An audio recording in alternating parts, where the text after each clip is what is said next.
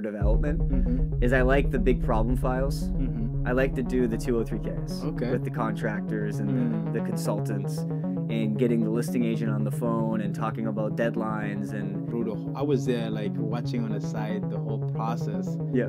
and I it was it was a great joy to see that you helped them through the whole process, and uh, I'm glad that we have people like you that are serving the.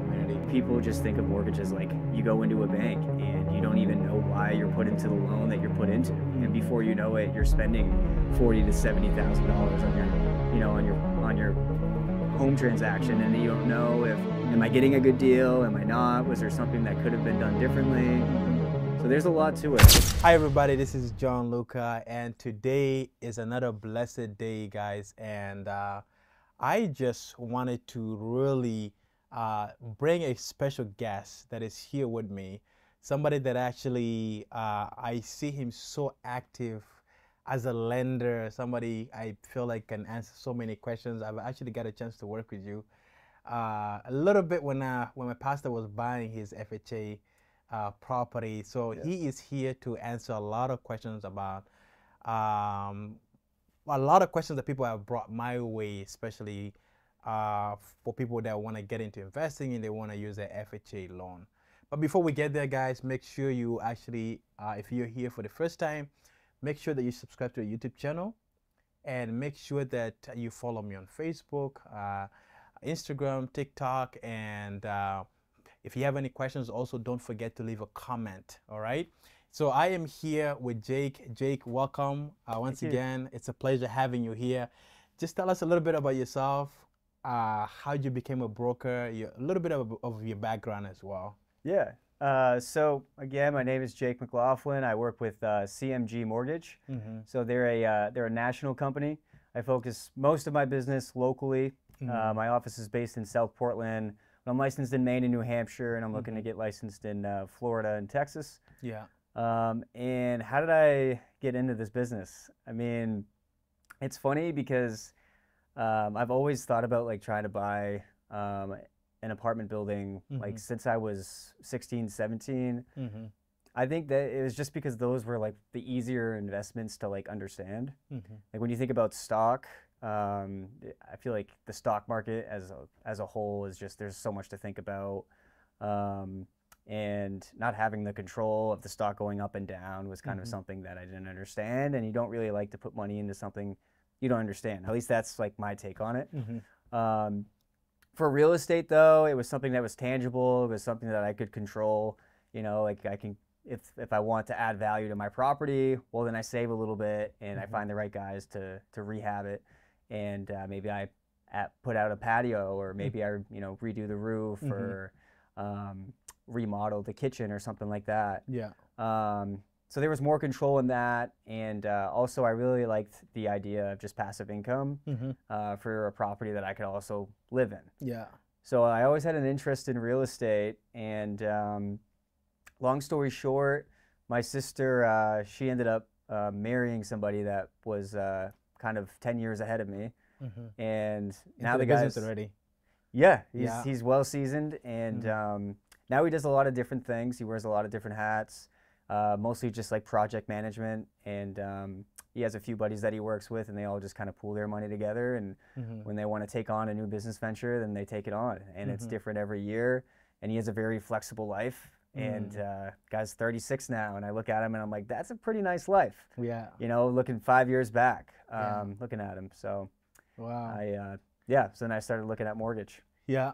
Yeah. And that kind of just did you feel like it was gonna bring your real estate goals closer to you by becoming a broker? Yeah, I mean, I knew. I was I was already going to school for uh, for business finance. Mhm. Um, I also my first career was actually a, a firefighter EMT.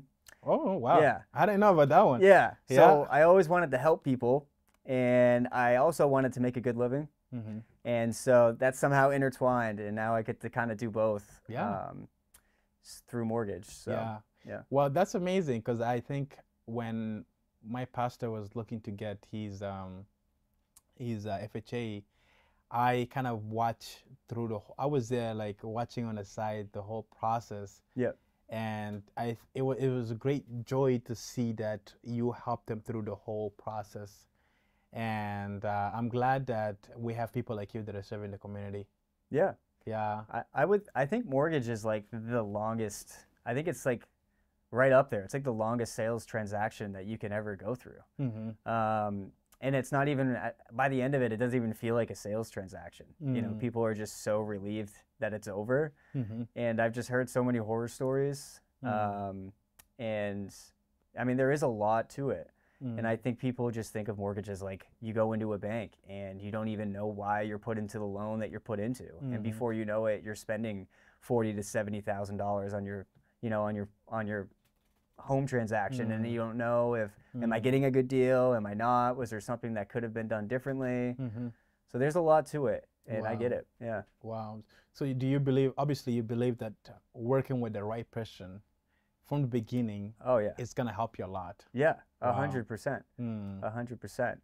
And also setting yourself up too um, Mhm. in the situation because a lot of people think like well if i'm a first time home buyer that's when i get all the benefits Mhm. you know that's when i have access to grant assistance that's when i have the access to the fha low down payment loan Mhm. um, but like a real mortgage partner is going to keep tabs on you like an accountant would right you Mhm. go see your accountant every year Mhm. and really in any stage of you buying real estate you Mm-hmm. know whether you're on your second or third home or you're on your second or third investment property Mhm. if you're meeting with your mortgage partner you know once a year and getting set up for you know two or three years out to be in the best possible situation to buy that next place Mhm. then it really doesn't matter what stage you're in in your real estate career Yeah. you can always be set up to get the best possible benefits Hmm. Wow. That's that's huge. yeah For people like me, um, I've bought like the, the home that I live in, and I bought a seller finance. So Okay. I'm asking these questions because I still have an opportunity yeah to be able to use my FHA, uh, you know, first time home buyers loan. Right. And so people also oftentimes ask me because they see that I'm selling this property or I'm doing this with this property. They're like, "How can I buy my first my first home?" Yeah. I'm like, "Well, you're asking the right guy at the same time the wrong guy Yeah. because I am the guy who fix them up, uh, buy them, fix them up, and resell them. Yeah. I really, you know, the, I know kind of know the process of using your FHA and other loans. Yep. But that's kind of the things I want to talk to you about, and it's gonna help me a lot, and it's gonna help a lot of our viewers, uh, people that have asked me a lot of questions, people that are following my journey, and people Yep. that are looking to invest in real estate, starting from uh, an FHA loan. sure Yeah. Yeah, wow. So, um, what are some steps that people can take when they're looking to just buy their first home? Mhm. They don't know where to get started. What are some step, steps that they can take in terms of credit or the, the right jobs or how long should people be in their job before they even consider like getting into a FHA loan? And what Yeah. is the chances of getting approved? So I would say the the first step is the first step should really be talking to family and friends to finding a referred reputable lender. Mm-hmm. Um, and you want to talk to the lender first before you do anything with credit, Mm-hmm. um, because either you may not have to do anything at all, or the extent of your credit repair uh, may be less than you think. Hmm. Um, I've gotten clients a lot of the time where um, it takes them forever to finally apply because they keep saying that, oh, I, I got to do this with my credit, I got to work on my credit. And by the time you get them to apply, their credit's either not where it still needs to be, Mm-hmm. and they've done all this, you know, they, they've paid tens of thousands of dollars on credit cards. Mm. And what they really needed to do was dispute some collections um, Mm. and maybe set up a payment plan for a charge off. That would have been half the cost of paying on credit cards. Wow. So, one of the benefits um, that I can do is when we get your initial credit report, Mm-hmm. if it's not where it needs to be, I can run that through a credit simulator Mm-hmm. for free. I don't charge to do this. Okay. A lot of people think to get credit repair, you have to be on some monthly subscription plan, um, especially if you have all these collections Mhm. and whatnot.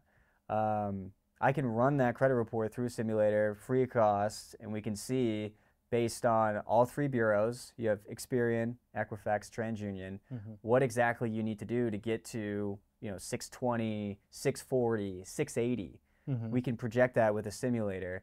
So maybe you pay maybe you pay down a little bit on some credit cards. Maybe you remove a collection. Mm-hmm. Um, but we can see that we know for sure that it's going to get you there as opposed Mm-hmm. to just randomly throwing money on credit cards and crossing our fingers. Hmm.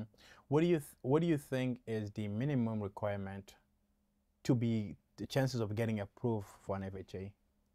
That's a good question. And whenever I answer that to a client, I always tell them the basics and then I give them my honest opinion. Okay. So I'm going to answer to you like you're my client. Okay. You Okay. are, yeah. Yeah. I, I would say that uh, to qualify for an FHA loan, Mm-hmm. uh, single family house, you need a 580. Okay. Okay. Bottom line credit score.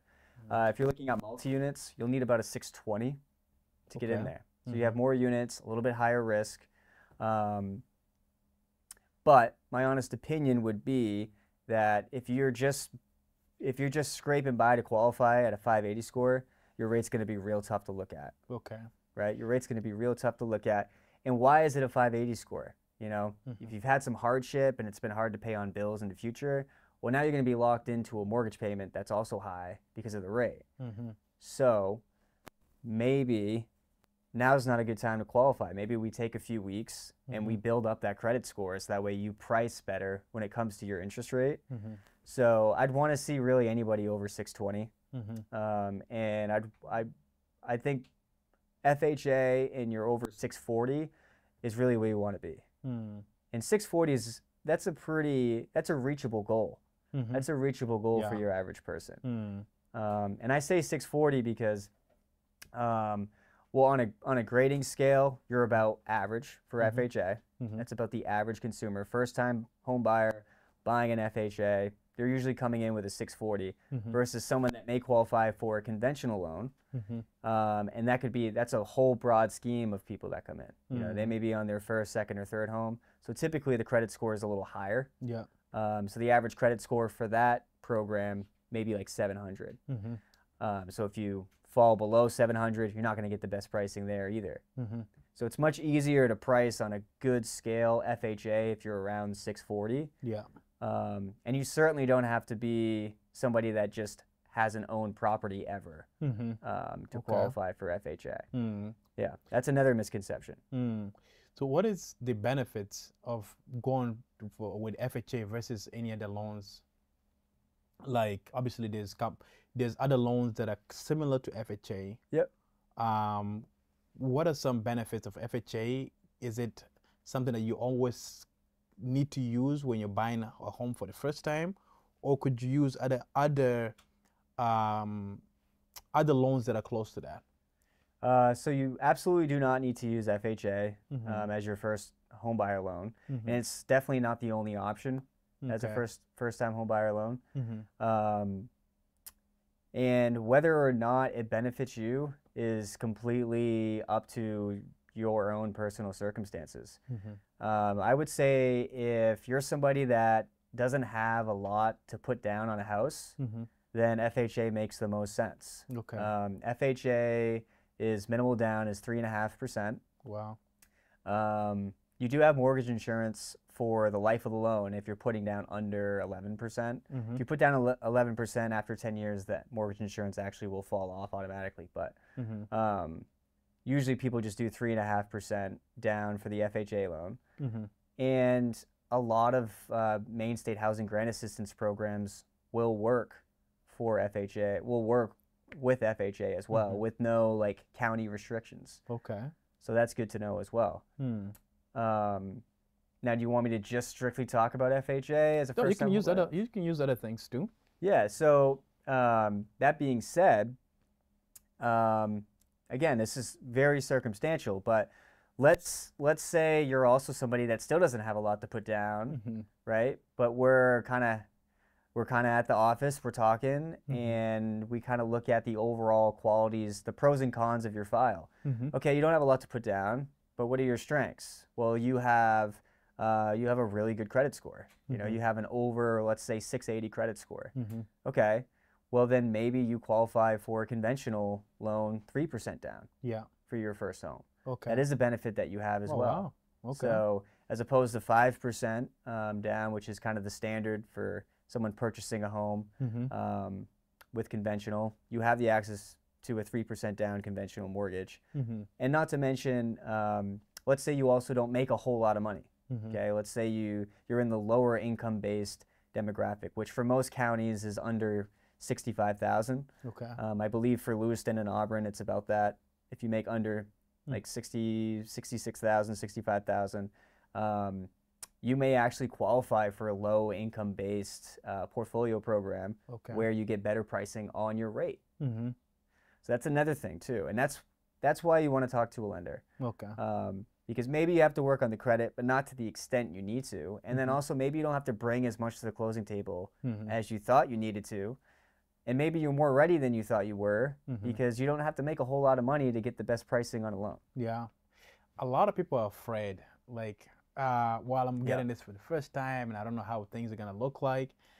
And a lot of the questions that I also get is like, can they use uh, an FHA to buy a multifamily? And is there any other loans that are close to uh, FHA that can potentially buy them a multifamily up to five units or more? Mhm. Or is there a restriction on using those kind of loans? So typically for an FHA residential loan, if you Mhm. want the benefit of the three and a half percent, everything that's advertised with the FHA loan, Mhm. that's only good for up to four units. Okay. Once you get over four, now you're dealing with commercial. That's an entirely different can of worms. Is that only here in Maine, or is that, That- up to four unit, or is that nationally now? That's nationally. okay. Yeah. Okay. Yep, that's Nice. nationally. Wow. So um, yeah, so once you get over four, completely different can of worms commercially. Mm-hmm. Um, And some of the also things that I get is, what is, what is the requirements? Do you need to be an American? Do you need to have a citizenship, or is that, how does that work? Yeah, so I don't know if there's certain restrictions other places. Mhm. Um, I've I would only work for a place where there was no restrictions on any of that. Yeah. Like I like like when I ever got into this business, I wanted to work with everyone with every type of program that there was. I wanted Mhm. to feel like I, you know, whenever I could, I could broker a product for a certain situation. Mm-hmm. Um, but there's no, there's no restrictions on. Um, you could be an uh, an asylum seeker, which means you're just here on Oh, wow. on work authorization. yeah, and you can buy, be able to buy and use, be able to use that. Correct. And that's like, from an immigration standpoint, that's like very beginning stages Mm-hmm. of coming to the country, right? Like, yeah. um, before you even get your green card. Wow. So there's yeah. So as far as this citizenship status, Mm-hmm. there's some flexibility there. You do have to have a two-year work history, and you do have to have a credit score. Mm. So basically, you got to be able to show that you can pay the mortgage still. So at least two years work history, Correct. nothing less. Nothing less. Okay. Yeah. So what if you're an investor like myself, Mhm. Uh, and you don't have the typical work history like the other people do? Yeah. How does that goes into play? So that's another qualifying aspect that we would have to look at. Mm-hmm. Um, you own an LLC, right? Yeah, a couple of LLCs. A couple of LLCs. Mhm. Okay. So we would consider you someone that's self-employed, Mhm. and you make your money off investment properties. Okay, that's what you do. Mm, Um, so we would have to show a two-year history of you being profitable from doing that. I see. yeah. I see. Okay. Now another thing too that I want to add to that is Mhm. if you are self-employed, doesn't mean you need to be self-employed for two years. Mm, if you've been doing what you're doing prior to go, oh, going self-employed as a W-2 employee. mhm, So let's say uh, this is common with tradespeople. Mhm. If you were a plumber for you know three four years, Mhm. W-2, that's that's what you did full time. mhm, Now all of a sudden, you go out on your own and you're a full-time plumber. mhm, Um, after your first tax return, on your tax return is going to be your profit and loss. mhm. So we'll look at your profit and loss. If your profit is similar to what you were making as a W 2, if not more, Mhm. you qualify Mm. Oh, after wow. one year. Yeah. Okay. And that's for that's for anyone. That's Mm. for that's for a nurse. That would be for you as an investor. I think we'd have to get creative with that. But if you Mhm. were W 2 working for like a, a real estate firm Mhm, or managing something mhm, relative to real estate, that could be a case we make. mhm. Wow, That's awesome, man. Uh, I wanted to ask this: What are some of the toughest? What are some of the toughest cases look like? Um, because I witnessed this, you Yeah. know, and I think there's there's days you pull out miracles, and Yeah. obviously that's where I, I think like those days are tough, Mm. but also that's where you come in and you make the impossible possible. Uh, what are those? What are some of those challenges, and why do some of those challenges come, especially when it comes to uh, FHA? Because FHA is great, but me and as an investor, Mm. when I get a loan that is like, okay, this is gonna be an FHA, I was like, ah, you know, like I'm Yeah. like, yes, FHA is. I feel like it's great for people who are like buying, Mm. but then when it comes to to like um, uh, when it comes to the seller, obviously there's a lot of restrictions and things and Yeah. all kinds of things, and even uh, sometimes that may be like for the buyer something credit something didn't pay. Let's say they didn't pay their car mortgage loan for that. Maybe five days before closing, something happens where they didn't pay that. What can you talk about some of that, like some of those challenges that you would people face and they're not aware about?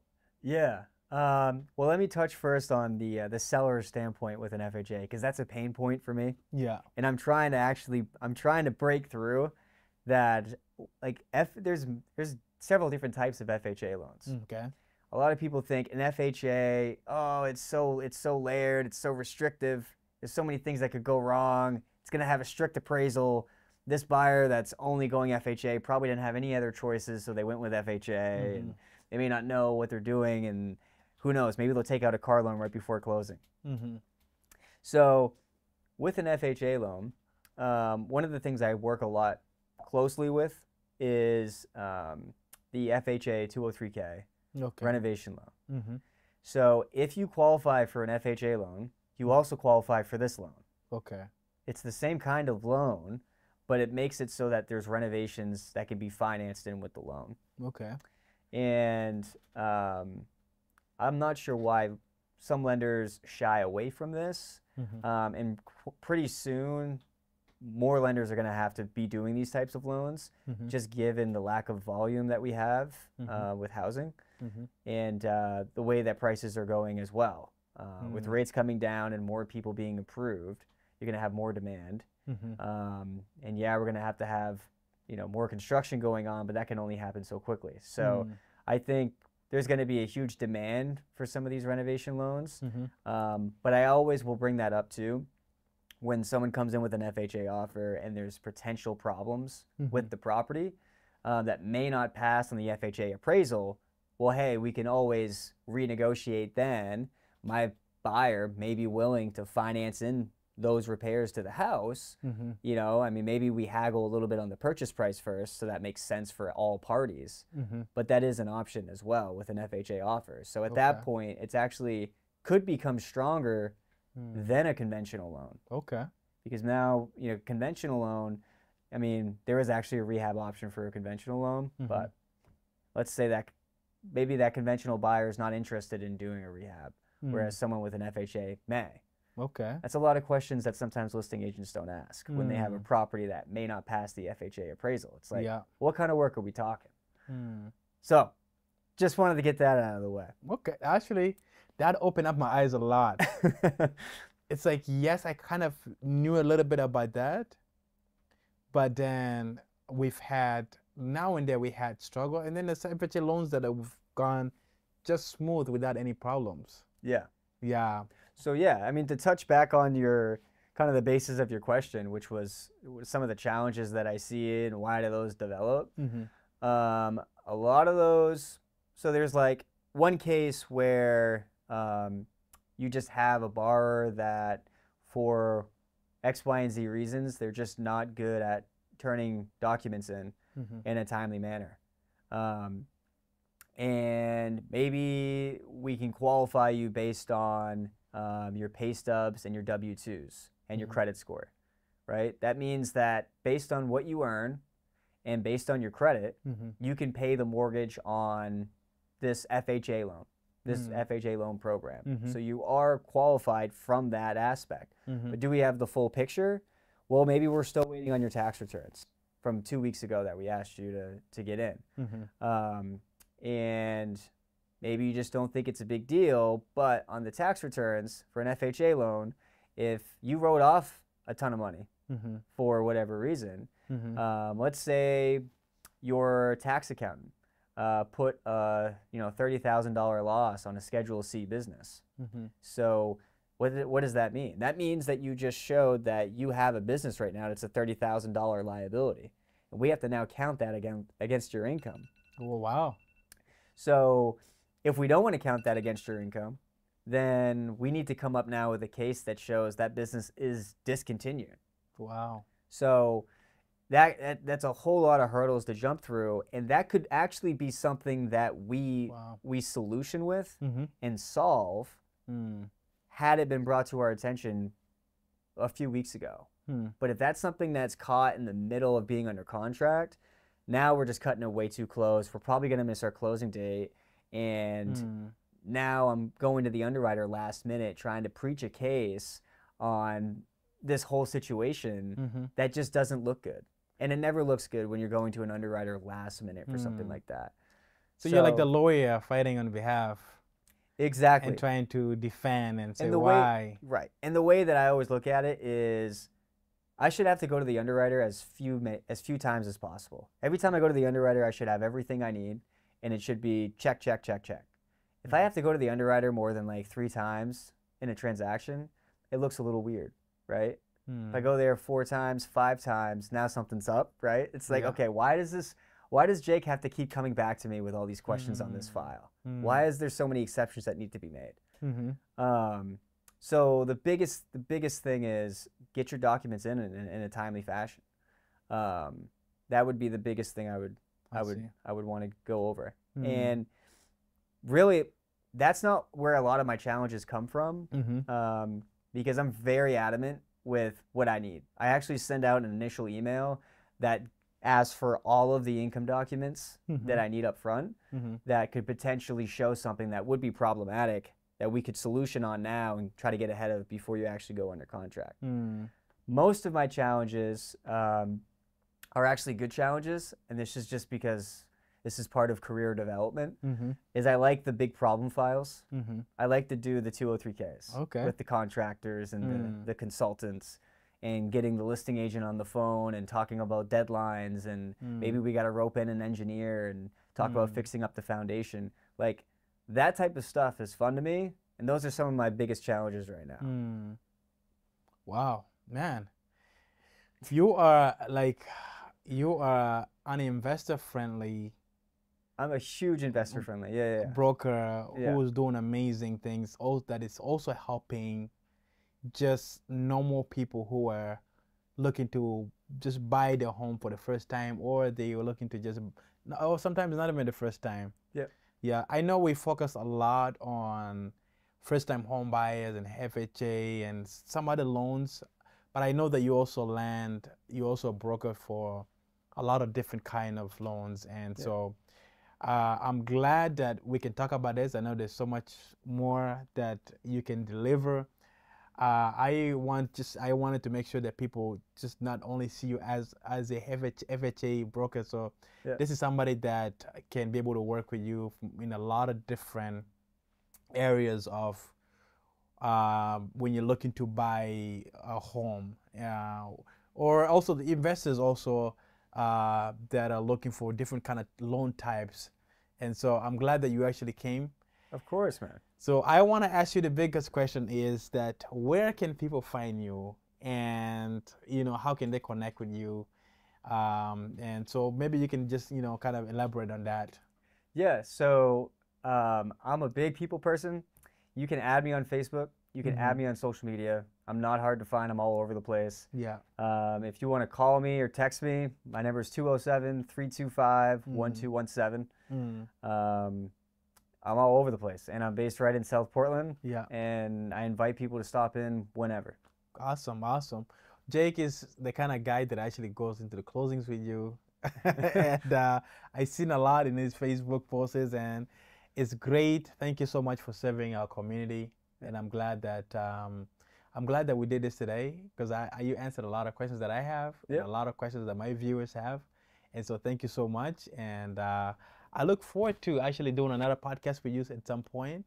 Yeah, maybe more to. in investing sides because I know you're also doing some investing. That's why I call him a investor friendly uh, broker. So I'm excited uh, your journey. I know some of them you didn't share, but you're also doing some investings as well, and some of the, your goals are also on that side. So Yeah. but I'm happy and I'm glad that you came, man.